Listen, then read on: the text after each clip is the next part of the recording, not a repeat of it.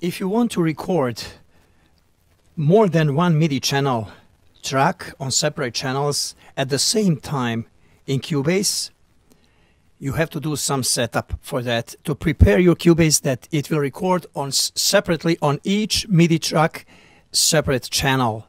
So I have connected uh, Korg PA for Arranger keyboard and I am going to play at the same time more than one uh, MIDI track, MIDI channel.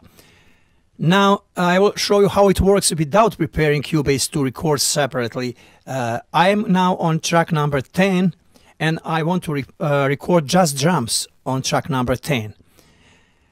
Uh, look at this button here, it's called input transformer. Now it is default. I didn't set up anything. Now I will press recording on my uh, uh, computer keyboard and it will automatically start my arranger to play and it will be able to record.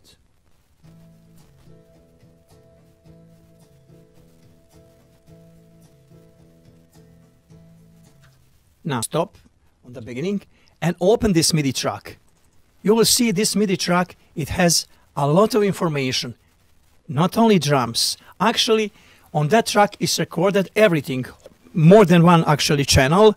I don't know how many channel is there, but it's definitely more than one. Now, what I'm going to do, I need just jumps to record, not everything. So I have to filter other channels to close them, filter them, and allow just channel number 10 to be recorded. How to do that? I will erase this and show you. Now you will press this here sign. It says input transformer. Click and click to local and then click to this plus sign. And then filter target target is going to be a channel. And condition unequal and channel is going to be number 10 10 okay. And now I will make sure that module is on not off on and transform I will put there filter. Now I actually prepared this channel number 10 to receive messages only on channel 10 and ignore all other messages and channels now I am going to record just drums it will play everything but it will record just drums